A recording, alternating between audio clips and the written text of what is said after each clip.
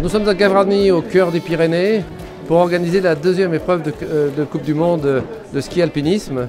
Et nous, nous accueillons euh, avec beaucoup de satisfaction 10 nations euh, venues de trois continents différents, Asie, Amérique et Europe. Il y a deux semaines, un événement a eu lieu à Pelvoux, donc le sprint, qui est nouvellement mis en place cette année, et qui se généralise sur les épreuves. Donc aujourd'hui, euh, le 22 janvier, nous avons la, seconde étape de sprint de la Coupe du Monde. Donc on part, euh, on part tôt, là, à ce moment il fait un peu froid. C'est euh, presque 9h du matin. Et on a avancé le départ pour que les coureurs puissent se reposer l'après-midi.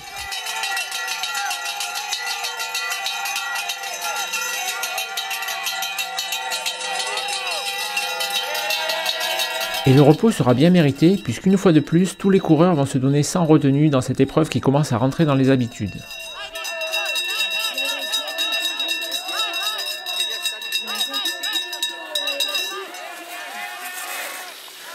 Au fil des manches, on retrouve les coureurs les plus toniques et deux Français atteignent la finale. William Bombardion et Alexandre Pellissier, premiers lors de l'étape de Pelvoux, mais qui se fait ici souffler la victoire par le Suisse Marcel Marty.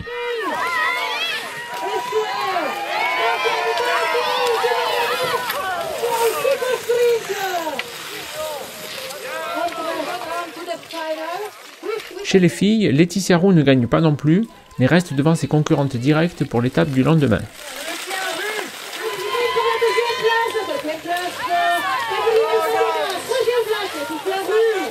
Donc demain nous allons réaliser une preuve individuelle et qui va être en fait un départ à Gundersen.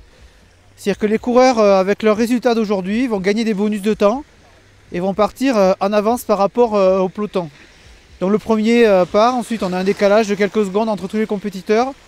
Et donc il y a 30 premiers compétiteurs qui partent pendant 2 minutes. Et après c'est la masse qui va, qui va partir.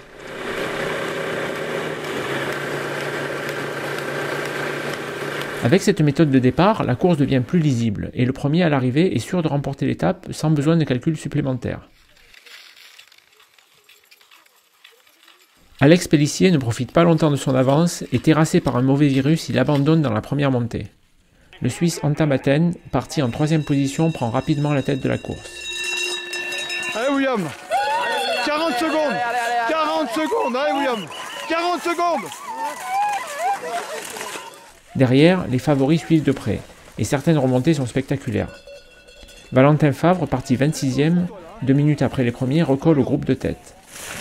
Allez Yannick Allez Yannick Kylian Jornet, vainqueur appelle-vous, a lui aussi refait son retard, mais une chute dans l'avant-dernière descente, alors qu'il est en tête, le fait sombrer dans le classement.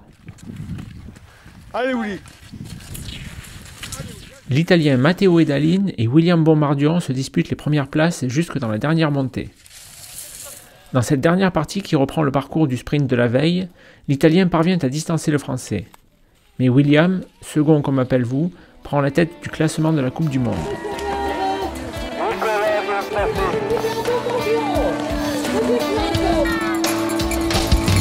Dans la course féminine, Laetitia Roux résiste aux attaques de l'Espagnol Miriam Miro, bien décidée à empocher une deuxième victoire après Pelvoux.